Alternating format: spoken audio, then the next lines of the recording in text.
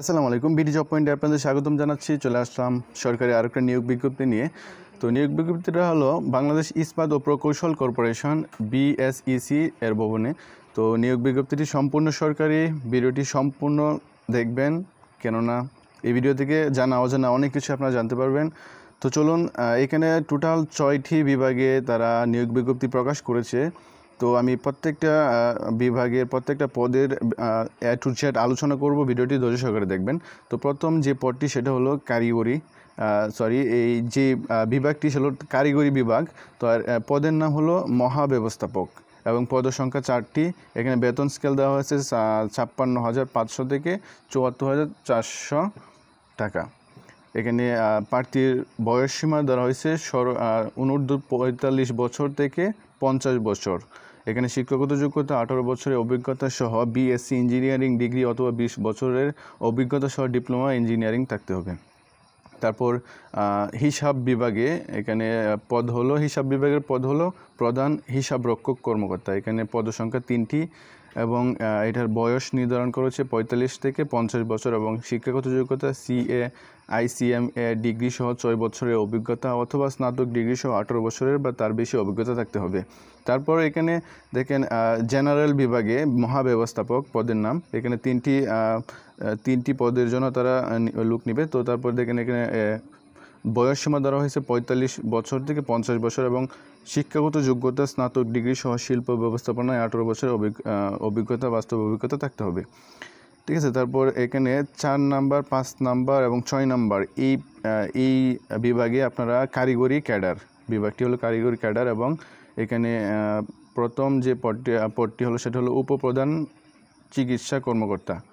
এখানে পদ সংখ্যা একটি এবং বয়স ধরা হয়েছে সাতত্রিশ বছর থেকে চল্লিশ বছর এবং শিক্ষাগত যোগ্যতা দশ বছরের অভিজ্ঞতা সহ এমবিবিএস ডিগ্রি অথবা তেরো বছরের অভিজ্ঞতা সহ এল এল এম এফ থাকতে হবে এবং তারপর যে পদটি চিকিৎসা কর্মকর্তা, এখানে পদ সংখ্যা দুইটি এবং বয়স নির্ধারণ করা হয়েছে বত্রিশ বছর থেকে পঁয়ত্রিশ বছর এবং শিক্ষাগত যোগ্যতা পাঁচ বছরের অভিজ্ঞতা সহ। এমবিবিএস ডিগ্রি অথবা দশ বছরের অভিজ্ঞতা সহ এল এম এফ থাকতে হবে। এবং সর্বশেষ যে পদটি সেটা হলো সহকারী চিকিৎসা কর্মকর্তা। এখানে আহ, পদ সংখ্যা একটি এবং বয়স নির্ধারণ করেছে তিরিশ বছর এবং এর শিক্ষাগত যোগ্যতা থাকতে হবে এমবিবিএস ডিগ্রি ঠিক আছে আশা করছি বুঝতে পারছেন। এখানে নিয়োগ প্রক্রিয়াতে কিছু শর্ত তারা দিয়ে রাখছে। শর্তগুলো হলো এখানে নিয়োগের ক্ষেত্রে বিএসসির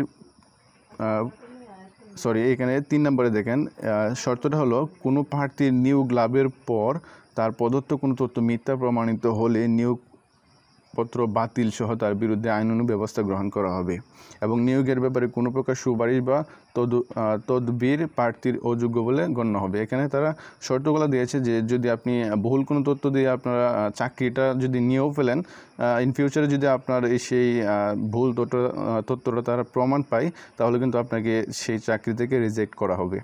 আশা করছি বুঝতে পারছেন এবং আইনানুগ ব্যবস্থা গ্রহণ করা হবে আপনার বিরুদ্ধে। তো এখানে আবেদনপত্রটি কী, আবেদনটি কীভাবে করবেন? আবেদনটি সম্পূর্ণ অনলাইন ভিত্তিক। এখানে আবেদন করার জন্য তারা একটা সাইট দিয়ে রাখছে, সেটা হলো BSEC dot Teletalk dot com dot BD এই ওয়েবসাইটের মাধ্যমে আবেদনপত্র পূরণ করতে হবে। ঠিক আছে? তো অনলাইন আবেদনপত্র পূরণ করার এখানে সময়সীমা তারা নির্ধারণ করেছে এবং তেরো তারিখ থেকে জুন মাসের তেরো তারিখ থেকে সকাল দশটা থেকে আবেদনপত্র, আবেদনের, আবেদন শুরু হবে এবং আবেদনের শেষ তারিখ হলো জুনের তিরিশ তারিখ বিকাল পাঁচটায়। তো আশা করছি এই বিষয়গুলো আপনার মাথায় রাখবেন এবং এখানে আবেদন করার জন্য তারা কিছু শর্ত দিয়েছে। সেটা হলো উক্ত সময়সীমার মধ্যে ইউজার আইডি প্রাপ্ত প্রার্থীগণ অনলাইনে আবেদনপত্র সাবমিট করার সময় থেকে পরবর্তী বাহাত্তর ঘণ্টার মধ্যে এস এম এসের এস এম এসের মাধ্যমে ফি জমা জমা দিতে হবে। অর্থাৎ আপনি যখন আবেদন করবেন তার পরবর্তী বাহাত্তর ঘণ্টার ভিতরে আপনার আবেদন ফিটি জমা দিতে হবে। ঠিক আছে?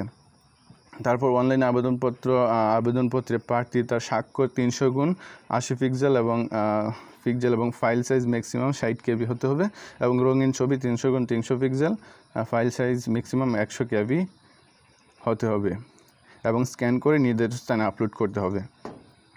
তারপর অনলাইন আবেদনপত্র পূরণকৃত তথ্যই যেহেতু পরবর্তী সকল কার্যক্রমে ব্যবহৃত হবে সেহেতু অনলাইনে আবেদনপত্র সাবমিট করার পূর্বে পূরণকৃত সকল তথ্যের সত্যতা যাচাই করে নেবেন।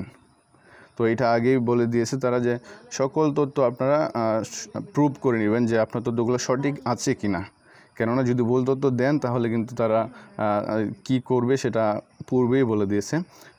তো এই ছিল এখানে আপনারা চাইলে এস এম এসের মাধ্যমে আবেদন করতে পারবেন। সো এইগুলো আপনারা দেখে নেবেন ভিডিও ডেসক্রিপশনে সার্কুলার লিঙ্ক দিয়ে রাখব। সেখান থেকে সাইকুলারটি ডাউনলোড করে আপনারা ভালো করে বুঝে তারপর আশা করছি আবেদন করবেন। তো ভিডিওটি ভালো লাগলে অবশ্যই লাইক কমেন্ট অ্যান্ড শেয়ার করতে ভুলবেন না। আর আপনি যদি আমার চ্যানেল নতুন দর্শক হয়ে থাকেন, তাহলে এরকম আরও সরকারি, বেসরকারি নতুন নতুন নিয়োগ বিজ্ঞপ্তি সবার আগে পেতে আমার চ্যানেলটিকে এখনই সাবস্ক্রাইব করুন এবং পাশে থাকা বেলাইকনে ক্লিক করে রাখুন। তো দেখা হচ্ছে নতুন কোনো ভিডিওতে নতুন কোনো সার্কুলার নিয়ে। সবাই ভালো থাকুন সুস্থ থাকুন আল্লাহ হাফেজ।